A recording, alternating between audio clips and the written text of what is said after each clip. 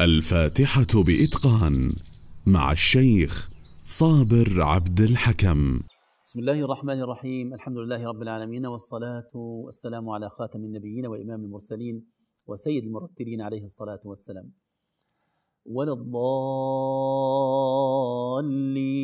ننتبه المد فيها ست حركات. يعني كيف نحسب الست حركات؟ الست حركات إما من طريق السماع تصبح مثل المد الطبيعي ثلاث مرات. أو ست حركات نمد نعد بالأيدي ولا الضالين هكذا. طبعا تختلف الست على حسب مرتبة التلاوة. لو كنت أقرأ سريعا ستكون ست حركات سريعة. لو أقرأ قراءة متوسطة ستكون ست حركات متوسطة.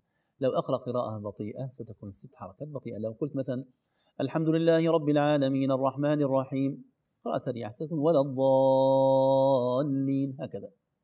لو كنت قراءة متوسطة. الحمد لله رب العالمين. الرحمن الرحيم. ستكون. ولا الضالين.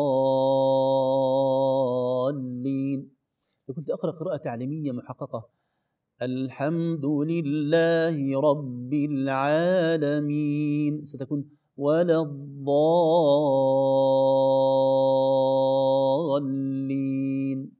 لاحظنا الأولى أقصر من الثانية أقصر من الثالثة.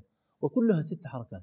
زي بالضبط الصورة إذا كانت مكبرة ثم صغرت كل أجزاء الصورة تتم تصغيرها ثم صغرت أكثر هكذا. إذا لا أحد يقول آه، الأولى أربع حركات والثانية خمس والثالثة ست حركات. لا كلها ست حركات. لكن ست حركات سريعة ست حركات متوسطة ست حركات بطيئة لمرتبة التلاوة. وهكذا. ولا الضالين. اللام المشددة نحذر فيها من الشدة التي نبهنا. لا نقول ولا الضالين. شدة اللام لا. اللام حرف متوسط. لا نخرجه بشدة ولا نخرجه برخاوة زائدة.